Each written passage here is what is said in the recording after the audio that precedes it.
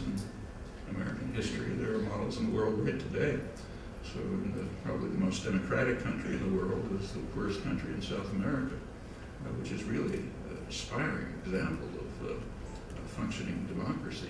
it will surprise no one who knows U.S. history that Washington's trying to undermine it, and it's of course not presented that way. But there are exciting, inspiring examples in our own history and elsewhere, and the Obama Army, if it decides to pursue that direction, it could make a big difference. Well, another source of evidence about the Obama, likely Obama programs, the ones we're beginning to see, uh, comes from the uh, uh, financing of the campaign. Now that's extremely important.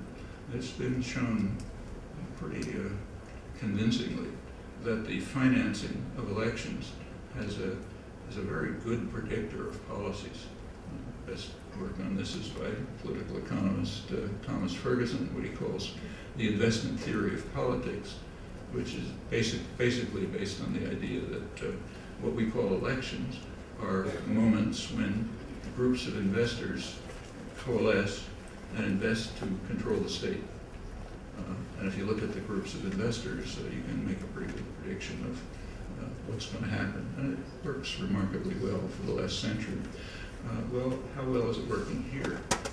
The funding for Obama is overwhelmingly from financial institutions. The,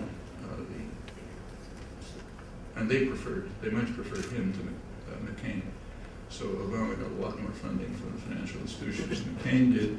And if you check closely the swing states, you know, where a lot of energy went, uh, he was, they were able to outspend McCain substantially, mainly because of these finances. And the poll, the polls shifted as the advertising shifted.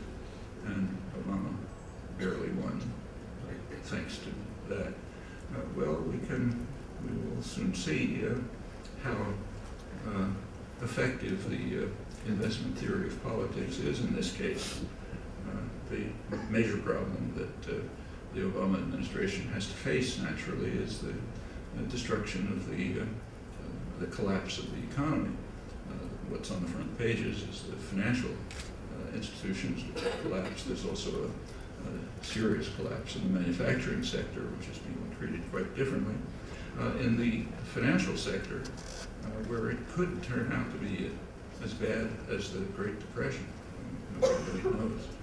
Uh, there are, there's a lot of commentary. Uh, so Simon Johnson, who's a former chief economist of uh, the International Monetary Fund, has written recently that, uh, quoting, elite business interests, financiers, in the case of the United States, played a central role in creating the crisis making ever larger gambles, and with the implicit backing of the government, continued until the inevitable collapse.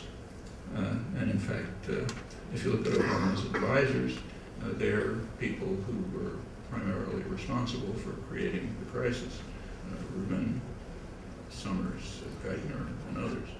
Well, going on with Johnson, he says, more alarming, uh, they are now using their influence to prevent precisely the of, sorts of reforms that are needed and fast to pull the economy out of its nosedive. The government seems helpless or unwilling to act against them. Throughout the crisis, the government has taken extreme care not to upset the interests of the financial institutions uh, or to question the basic outlines of the system that got us here. Uh, these are not laws of nature. I mean, these are decisions, largely of courts, sometimes of legislation. Uh, and there are many other options.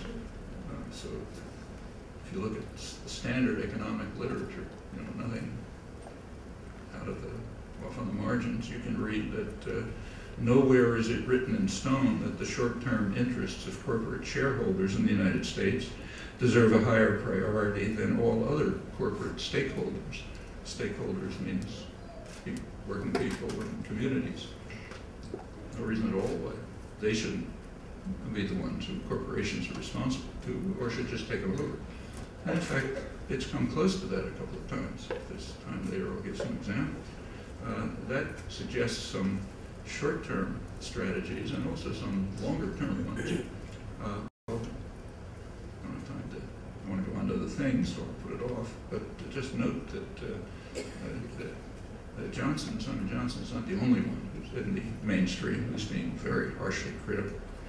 So the uh, uh, Elizabeth Warren, who's the uh, Harvard Law professor who was chosen as to chair the, the the congressional committee that's monitoring TARP, the uh, Troubled Assets Relief Program, the giveaway program. Uh, she's very critical of it. Uh, she's uh, criticizes what she calls Obama's approach of protecting the institutions and the owners, and she calls for the shareholders to be wiped out. Uh, they made the risky loans, they got the huge profit in a capitalist system, same problem. Uh, in our system, which is very remote from a capitalist system, uh, the rich and powerful are supposed to uh, make the get the profits, but the public is supposed to pay the costs and take the risks. And that's exactly what's happening now, and that's what's being criticized. Going back to Johnson, uh, he says we should break up the banks. Uh, there should be no more too big to fail insurance policy. The big institutions like Citigroup and Bank of America uh, get a publicly guaranteed insurance policy. It's called too big to fail. It means you can, you're free to do any risky thing you like, huge amount of profit, and if anything goes wrong, the public will bail you out. Uh, and that's been going on for decades. Uh, the current collapse of Citigroup is just essentially reenacting something that happened in the early 80s uh, when they were bailed out by Paul Volcker, the IMF, and were able to reconstitute. And this is an insurance policy. It puts uh, the U- big, big U.S. Uh, institutions at an advantage over any competitors because they don't have the insurance policy. So they're free to take risks, make profits, and uh, you know, proceed happily because they'll be bailed out by you.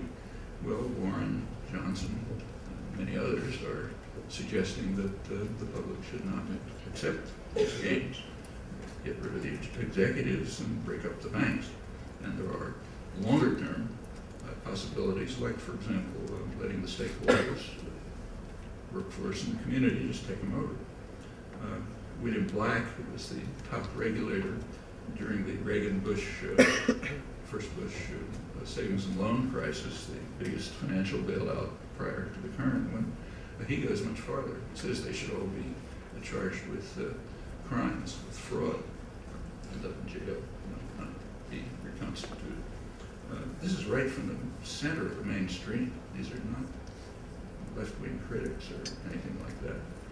Well, all of this is off the agenda. The principle is to save the institutions and keep the leadership intact, and the public will pay no matter what it costs. Maybe the mandates will work, maybe they won't.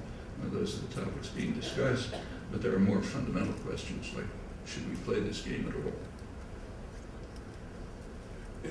I won't talk about Obama's record on civil liberties, but it's uh, pretty depressing. Uh, including, he's, he's accepted some of the most extreme reactionary positions of the Bush administration. For example, just recently uh, denying uh, court over, uh, getting the Justice Department to try to overrule court decisions that have granted uh, the right of habeas corpus to the people subject to rendition. I'll say the ones who are in back Bagram Air Base. Nobody knows how many or how many of those secret prisons they are. So the courts have said, look, the Bush programs can't be accepted, they're unconstitutional, these people have rights. But Obama is moving in to uh, sustain the contrary to his campaign rhetoric. And it's not the only example. Well, let's turn to foreign policy. There's more complex issues, uh, but not much information. The Obama administration has continued the position during the campaign of pretty much avoiding issues. Uh, insofar as there is information, either rhetorical or actions, it's mostly in the Middle East. So let's take Iraq. Obama has indicated, though not very clearly, that he might live up to the uh, status of forces agreement that was forced on Bush by uh, Iraqi opposi- uh, opposition